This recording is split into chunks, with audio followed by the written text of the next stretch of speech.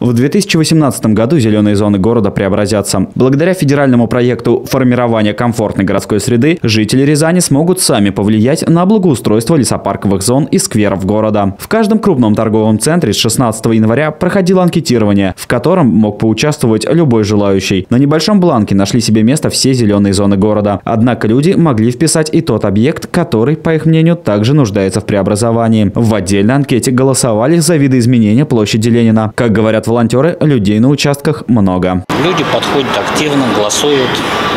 В основном голосуют за видоизменение площади Ленина.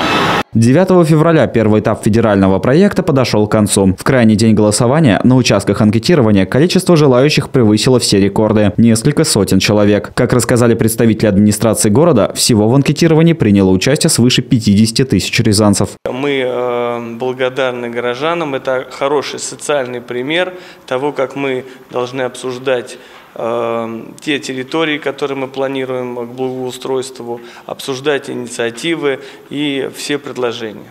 Сергей Карабасов рассказал, что сам принял участие в анкетировании. Как житель Советского района он отдал свой голос за лесопарк. Попадет ли она в рейтинг самых востребованных, горожане узнают совсем скоро. 12 февраля из 53 зеленых зон города выберут 12, по 4 в каждом районе. С этого момента начнется второй этап федерального проекта – обсуждение этих территорий и выбор приоритетных. Как сообщил глава города, принять участие может любой желающий. Третий и самый важный этап пройдет 18 марта. Горожане смогут выбрать по одной из территорий в каждом районе районе. В рамках федерального проекта в 2018 году в городе Рязани преобразуют только одну зеленую зону – победители голосования третьего этапа. Сергей Карабасов отметил, что про оставшиеся три территории не забудут. Это долгосрочные проекты на два ближайших года. Валерий Седов, Игорь Глотов, телекомпания «Город».